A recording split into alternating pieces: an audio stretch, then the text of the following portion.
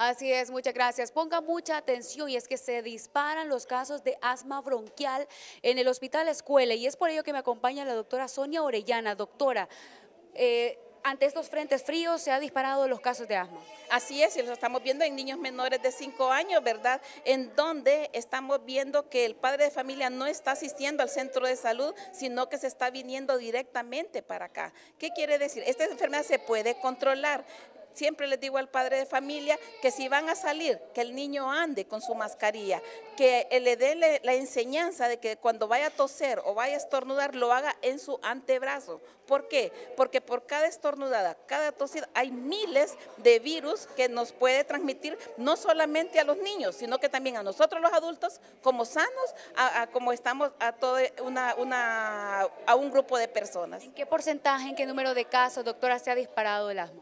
Bueno, ahorita en este turno, ahorita en solo la mañana de 6 a ahorita tenemos como las 9 o las 10 creo, ya hemos visto cinco casos de asma, que los cuales ya los estamos nebulizando y que primeramente Dios, ¿verdad?, puedan salir para que no puedan ser ingresados, ya que en el día, de este fin de semana hubo mucho, mucho ingreso de pacientes respiratorios y si ustedes, no sé si les podrán dar permiso, ir a ver cómo está la sala de observación, está llena, no cabe paciente tenemos dos niños en cada camilla. Entonces, ¿qué nos quiere decir? Que nuestra población, principalmente nuestros padres de familia, no están tomando las, las recomendaciones necesarias que debemos de tomar.